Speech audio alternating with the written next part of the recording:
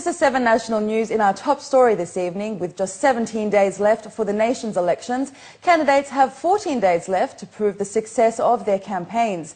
Those who are running are not wasting any time to ensure that voters cast their ballot wisely.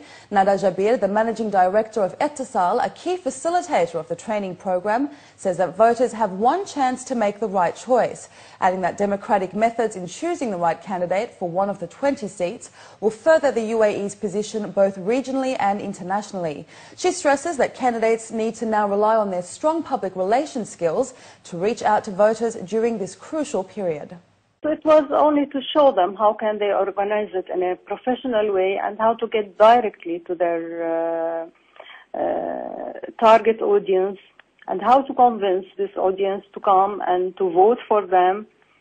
Uh, this is the main uh, purpose uh, that we were uh, concentrating on. I was so surprised that there was, uh, we had mainly females who were very interested in educating themselves than males. So I think we need on TVs to make more awareness to the audience to go the day of the election and to vote.